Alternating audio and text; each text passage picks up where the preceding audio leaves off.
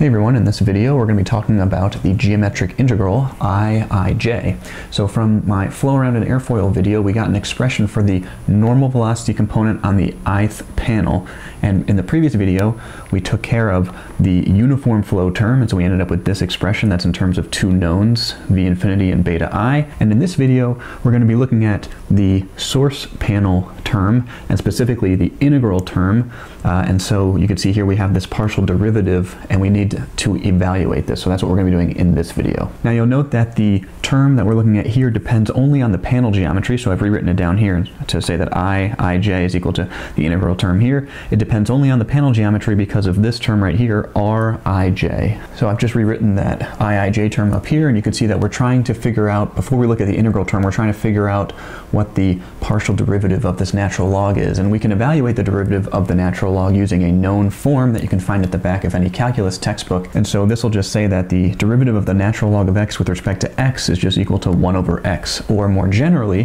when the argument of the natural log is a function of x, we can write the derivative of the natural log of a function of x uh, with respect to x uh, is equal to 1 over f of x times the derivative of that function of x with respect to x. That's the chain rule. So we can apply this expression over here to the iij derivative term, so this term right here, and you can see that the uh, argument of the natural log is rij, and so we have 1 over rij, so that's 1 over f of x, and then drij dni, that's the df of x dx term. So now that we evaluate the derivative of the natural log, we still need to evaluate this partial derivative where from my panel methods geometry video, we know that rij is equal to this expression, which is just the distance between the point xi, yi, xj, yj. So we're going to evaluate the partial derivative using the chain rule. So I'm going to rewrite this here, and we're taking the partial derivative of the rij term with respect to ni, and we're just going to evaluate this using the normal normal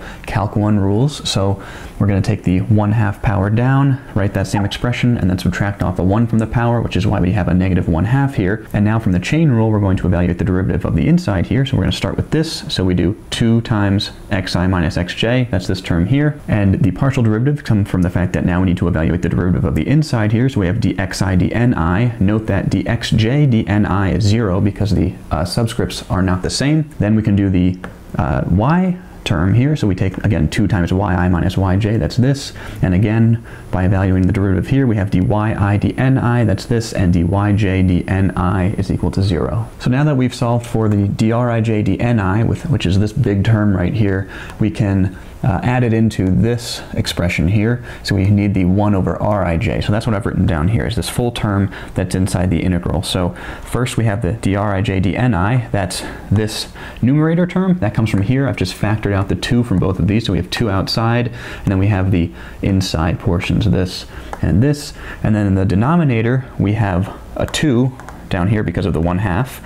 And then we also have this expression here, which is this here. Note that this is a negative 1 half, so we can just bring it down into the denominator, and now it's a, just a normal 1 half. And then since we have the 1 over rij, that's 1 over this, so that's why we have this term in the denominator again, just a 1 half. So note from this expression that a to the b times a to the c is equal to a to the b plus c. So down here we have a a, these are the same term, and they're both to the power of 1 half, so we can combine these and say a, so that term to the 1 half plus 1 half, that's just 1. So in the denominator, we can just write this uh, term without the 1 half, and also note that the 2's cancel, so I'm just going to rewrite that up here. Note this is the original integral expression, and so I've just rewritten that down here in the numerator. The 2's canceled, so we just have this inside of the brackets, that's the numerator, and then in the denominator, we just have the term inside of the brackets here, and that's this, and so this is the integral that we're solving. Note that we still have these partial derivatives in here,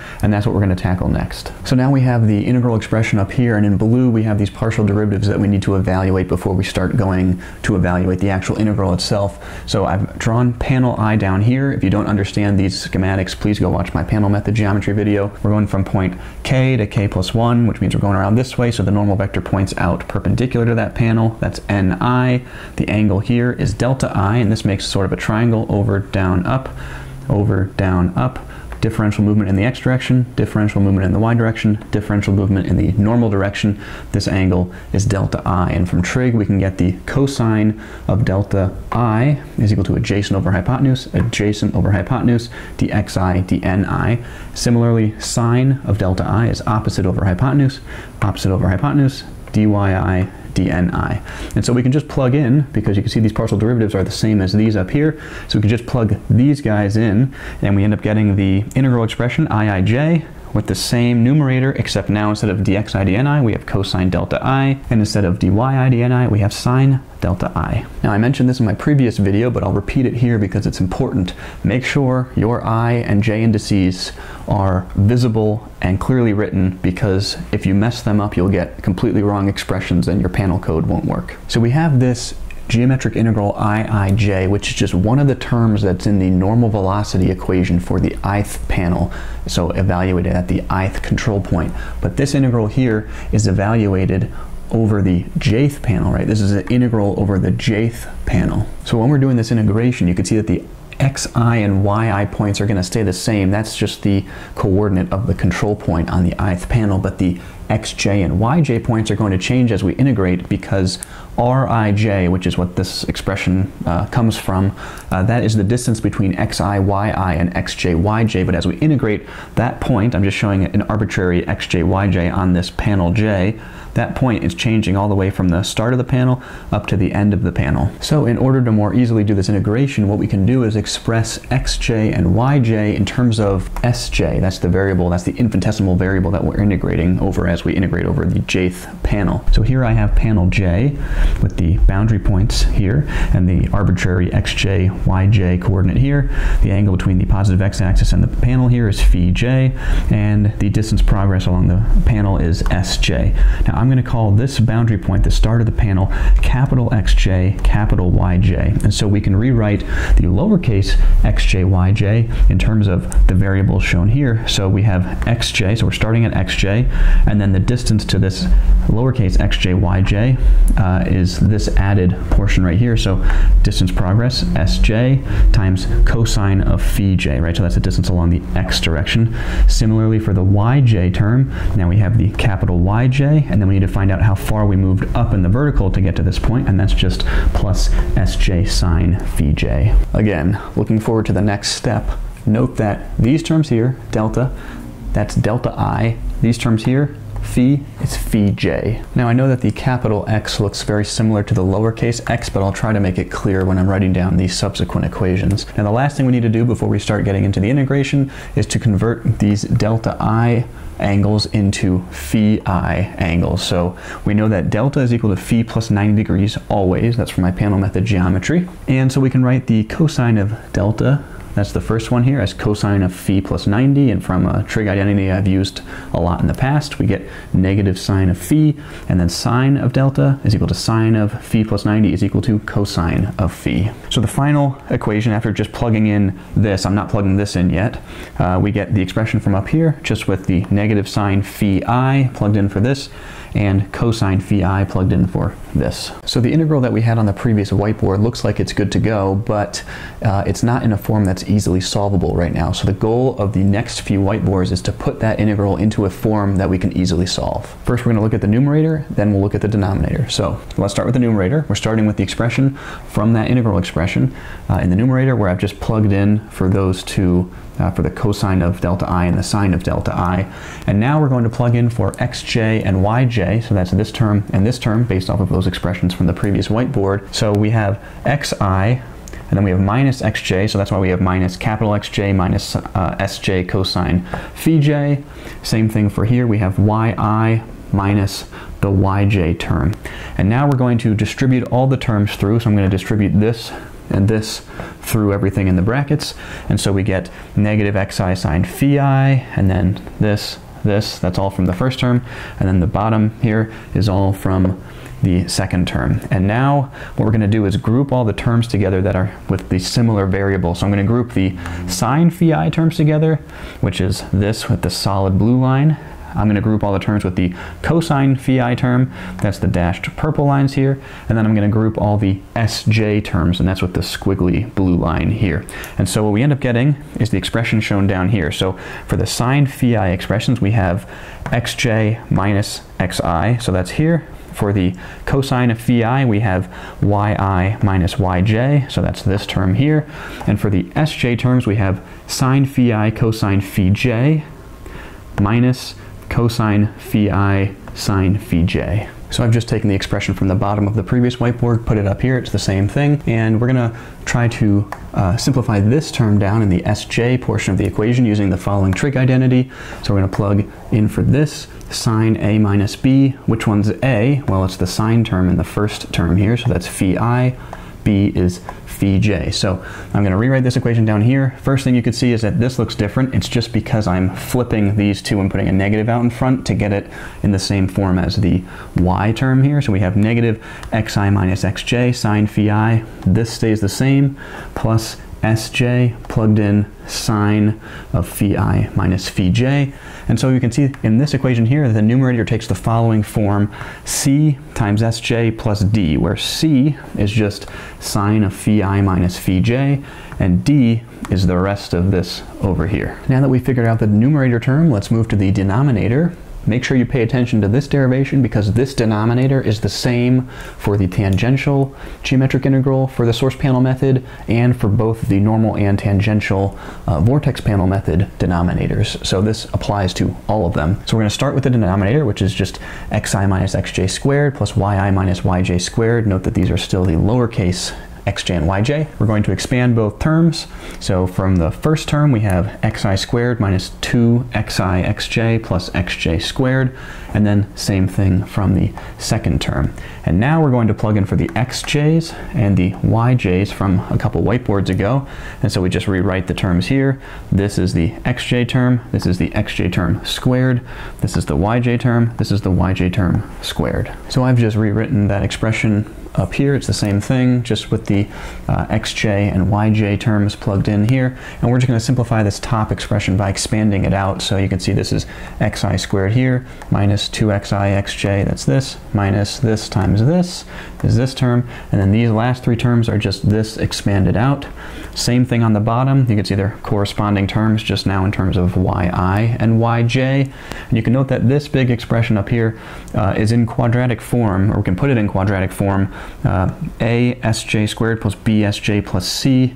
Note that the c here is not the same c as before. I'm just showing you what the quadratic equation looks like, noting that instead of x we have sj. That's the variable we're integrating over.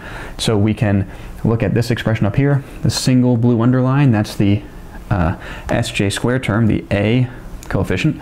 The double underlined lines here are corresponding to the Sj or the B coefficient, and the ones that have no underline are the C coefficient. So I'm just writing out the A coefficient here, so the Sj squared, sine squared phi j plus cosine squared phi j, and then plus 2, so I'm factoring out the 2 in all of these double underlined ones, and so we end up getting negative xi cosine phi j, that's here, plus xj cosine phi j here, minus yi sine phi j, plus yj sine phi j. And then the final term is the c term, which is the non-underlined terms up here. And so we can put this and this in one term, in one parentheses term, and then this and this in the second parentheses term. Okay, so there's a couple of simplifications that we can make down here. The first is this. We can use the well-known trig identity that sine squared x plus cosine squared x is equal to 1. So this whole term is just equal to 1, which simplifies down this first term to just sj squared. And then second, if you look down here, this is just an expansion of xi minus xj squared, and this is just an expansion of yi minus yj squared. So we'll plug those in for these two terms down here. So we can write this whole expression as this sj squared plus 2sj, and now what I'm doing is I'm combining the cosine phi j terms, so that's why we have negative xi minus xj, because this is a plus in here, so if we have a negative negative, that gives us a plus. and then for the sine phi j terms, I'm combining these as well, so we have negative yi, again this is a plus, so we get a minus in here, so that minus minus is a plus, and then the final term is plus this which is xi minus xj squared plus yi minus yj squared. And this form, or this equation, takes the form of sj squared plus 2asj plus b, where a is just this in the brackets, and b is just this in the brackets. So we had solved for the numerator and denominator terms, so the geometric integral we're trying to solve is shown here. iij is equal to the integral from 0 to the jth panel length, or s bar j, that's from my panel method geometry video, of the numerator over the denominator. I'm just going to write this in a more recognizable format perhaps by substituting in x for sj, so we have the integral of cx plus d over x squared plus 2ax plus b. Note that this x is not xi or xj, it's just to show it in a more recognizable format. And also note that a, b, c, and d are just placeholders with their definitions given on the previous whiteboards. So this form is actually not good for integrating either just yet, but we can get it into a nice form by first completing the square of the denominator. So that's why I have this here. We're going to complete the square. You can see other videos for how to do this, but essentially we're just taking the first two terms here, and then I'm going to take uh, the middle term divided by 2 and square it, plus b, and then subtract that term as well. And so you can see the 2's cancel, so we end up just having a squared here and a squared here. And so I'm going to group this, so I have x squared plus 2ax plus a squared, that's this first term, and then I have plus b minus a squared, that's the second term. And note that we can write the first part of this term as just x plus a squared, and we can write this part by substituting in defining a value e squared so that e is equal to the square root of b minus a squared. That's just for convenience. You don't need to do this, but it's for convenience, and you'll see this substitution in pretty much all books. So we're actually going to use u substitution to break up this integral into two separate integrals that are going to be easier to solve. So this is just this integral up here, and from the previous whiteboard, after completing the square of the denominator, we could replace this with x plus a squared plus e squared, so that's what this is. And now to do u substitution, we're going to define u as x plus a because that's what's in here. And so if I just rearrange these, I get x is equal to u minus a. And if we take the derivative of this, then we can get dx is equal to du. And so that's what I'm plugging in for here. For the x's, I'm plugging in u minus a. So that's why we have c times u minus a plus d. And then down here we have uh, u squared, because this is x plus a. So we have u squared plus e squared du, because dx is equal to du. And then I'm just going to distribute through, so we have cu and then plus d minus ac all over the u squared plus e squared du. And so from the equation in this form over here, we can just break this up into two separate integrals. So that's what I've shown here. The first one is taking cu over the denominator, that's this, plus d minus ac over the denominator here, and we'll split this up and factor out the numerators that we don't need in the integral because they're constant. And I've written these in two different colors because I'll solve these at different times. So we get this term here where I've just factored out the c, and then I factored out the d minus ac in the numerator here. So we're going to start with this integral first. So I'm just solving for that second integral term, ignoring the d minus ac that's out front. So it's just this integral here, and this integral has a known form that you can see at the back of any calculus textbook, and it's just 1 over e times the inverse tangent of u over e. So we're just going to plug in for u that we had defined before and evaluate the integral. So we have that here. Plugging in x plus a gives us this. We're evaluating from 0 to the end of the panel, s bar j. And so we have 1 over e out front, and then I have this evaluated at s bar j, which is just inverse tangent of s bar j plus a over e, minus this evaluated at 0, where we plug in for 0 here, so we just have a over e, so that's minus inverse tangent of a over e. So this is the solution for this integral. Now we can work on that first uh, integral term. So I have that up here. Note that I'm not including the c because it's a constant which we'll add back in on our final solution. So we're going to write the numerator such that it is equal to the derivative of the denominator. So the derivative of the denominator with respect to u is the derivative of u squared plus e squared is equal to 2u. So if I write the numerator such that it's this, right? So I have the integral of 2u over u squared plus e squared. To get it back to the same form as this, I just have to divide it by 2, right? Because we have a 2 up here. And so we're going to define a new variable, z, similar to how we define a new variable u. We're just going to do that again. And so z, I'm defining as u squared plus e squared. That's just the denominator here. So if I take the derivative of z with respect to u, we get dz du is equal to 2u, and if I rearrange this by multiplying both sides by du, we get dz is equal to 2u du. So I'm just going to plug in these z terms into this integral up here for all the u's. So you can see that we have 2u du we see that 2u du is equal to dz, so that's in the numerator, and u squared plus e squared, that's this, which is z, that's in the denominator, so we have 1 half of the integral of dz over z, and you'll note that this is in the form of the natural log here, so this integral gives us 1 half still there. This is the natural log of z, and if we plug back in for z here, for the u squared plus e squared, we get 1 half natural log of u squared plus e squared. So now we have this expression up here, and we need to uh, plug back in for u, and then evaluate the integral from 0 to s bar j. And note from uh, quite a few whiteboards ago that we had u squared plus e squared from the initial denominator, so we turn this into this, so we can just plug that back in here, and now we'll evaluate from 0 to s bar j. So first we take the 1 half out, and then we evaluate it at s bar j, so that's why we plug in s bar j for all the x's, and then minus the evaluated term at 0, so x squared is 0, 2ax is 0, so we just end up with natural log of b, and we can simplify this into a single logarithm uh, because of natural log of a minus natural log of b is equal to the natural log of a over b, so we're just going to have 1 half times the natural log of this over this, so this over b, and the final step uh, is to combine these integral expressions in the dash boxes that we've solved for before to get our final geometric integral i, i, j, which we can write as c times this integral solution plus d minus ac times the previous integral solution. Now this was quite a long video, but we ended up with an expression for the geometric integral iij used in the normal velocity component of the ith panel. That's just a function of values that we know. So up here, the s bar j, that's just the length of the jth panel. And then down here for all of these uh, variables a, b, c, d, and e, these are all just functions of values that we know. So xi, yi, that's just the coordinate point of the ith panel. Phi i and phi j are the uh, orientations of the panels for the ith panel or the jth panel. And then xj and yj are just the boundary points, the starting boundary point for the jth panel. In the next video, we will be using the normal velocity equation on each panel, each ith panel, set it equal to zero, make a system of equations, and then solve for all of the source panel strengths based off of that system of equations. Thanks for watching.